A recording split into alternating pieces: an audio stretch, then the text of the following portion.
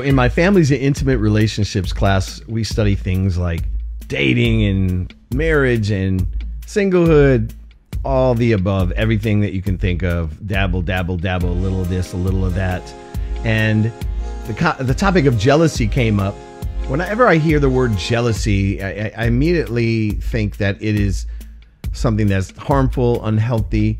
Uh, a lot of times there are opposing viewpoints on that that say jealousy is a healthy part of a relationship and it, it, it, it creates uh, greater levels of attachment.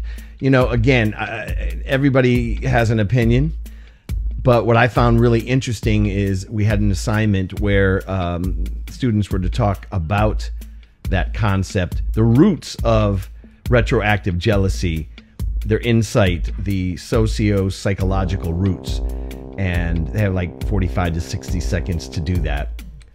Quite a wide range of, of responses to that prompt, many of which were really good, very insightful, looked at things like past trauma, past relationship experience, and, and those things that we are probably all well aware of uh, when we, we learn to mistrust people just we may learn we first learn to trust people and then we learn to mistrust people throughout our lives and uh, we cannot necessarily escape our accumulated wisdom and experience but we can reflect on it and see if it's causing harm to us. Now one of the students brought up the, the topic of uh, social media.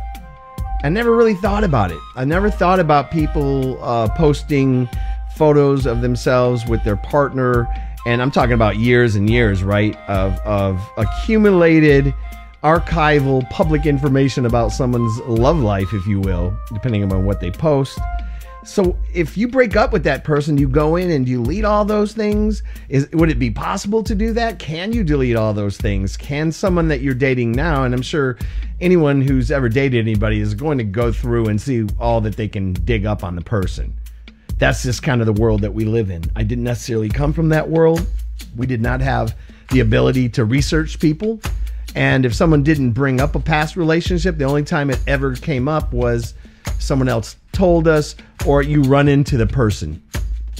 You and your your significant other run into that person out somewhere in the streets and it all comes to like who's that, you know, or that kind of thing. But now everything is just so public and you can dig and dig and then you could see where someone's ex is liking you know someone's post and they may have been an ex from two years ago. Listen it is quite possible that people had a relationship. It didn't work out but they remained friends. Number one. And number two is i think we have to really investigate the role that attachment plays. I think people relationships are wonderful, but they can also drain us because we're so afraid that we're going to lose the relationship that we damage the relationship in the process. And I believe that is one of the harmful effects of retroactive jealousy. So, one part of the question that I asked him was there a way to resolve that? And many have said communication with that partner is, is critical. That kind of thing uh, everyone has a past. The older you get, the longer you've lived, the longer your past is. To the point where you probably literally don't even remember or haven't even thought about that unless you're someone who thinks about, you know, daily, weekly, think about all the partners you've had, people you've been in relationships with. I'm sure that comes up from time to time.